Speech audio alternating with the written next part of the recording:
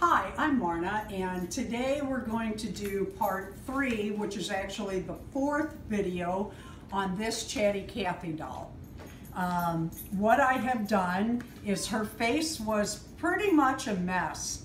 And not only did it have discoloring like this doll, which is probably nicotine res residue, it also had some marks on it. I, I, I, don't even know what it was, but if you look at Chatty Cathy before, you'll see that. What I have done is I took the cheap Walmart Zap Zit.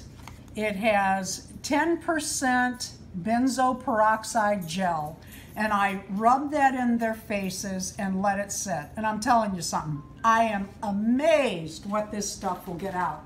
If you look at the before video, be sure and look at that foot that had the spots on it. They are almost gone using this uh, Zat Zip. I call it Zip Zat, I don't know why, but I do. Okay, here's Chatty Cathy, and what I'm about to do is give her a wash up. I also, uh, this Charmin Chatty needed the same uh, Zit Zap. You can see I pulled their hair back, and I'm going to give them a wash, and we'll reveal what we have. Warm water, and oh my goodness. This doll has cleaned up so well, it is amazing. I'm using a toothbrush to get this out of all these cracks. Now, whether this will be her last swoosh or not with this, I don't know. We'll just have to see what we've got. But again, if you go look at the Chatty Cathy before, you might be as amazed as I am. If you're a doll restorer, well, you know how good this stuff is. What I was afraid of is it would take her freckles and paint off, and so far it has not. But look at that. I think I'll set her a couple more weeks with some up here. here let me get see if I can get her in the sun. Look at that. Again, go look at this, this uh, Chatty Cathy before and you will see what this stuff is amazing. I'll set her to dry. I, while we have her apart to work on her, I cleaned the inside of this doll too. Would you believe I found dead spiders in her legs? Yep, dead spiders. And then we'll do Charmin Chatty, who also had the nicotine yellowing. It's kind of a greenish yellow. You might notice in some of the vintage dolls. I cannot tell you how pleased I am with Chatty Cathy's face. I am going to give her another douse right around here and up here. What they had on her face, I have no idea, but look how clean that came.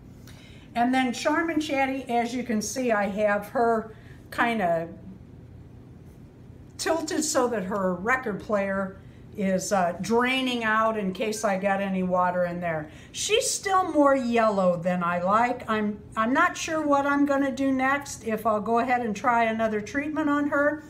But look at that foot. That is a miracle, I tell you, it's a miracle. So I'll leave these guys dry, and in the meantime, this little doll I bought so that I could cut her hair off and learn to reroot hair. But I read on a um, doll site where they take oil and they put that in the hair, baby oil or whatever oil, and they leave that sit overnight. And then they take a blow dryer on a low setting and use a nylon stocking or netting to brush out the hair. Now, I don't really care about her hair, but that would be kind of fun to try. So I think that's my next project. That and this mess. This is Timey Tell she was also a doll from the 60s, if you can get a close-up of her little watch. You set the watch, pulled the string, and Timey Tell told you what time it was. As you can see, she's seen better days. So we're going to give her a little restoration and we'll probably crack her open. Now she, as I understand it, is a lot harder to restore the voice box, but Darren's also a genius, so we'll see. Thank you. Please like our videos and subscribe.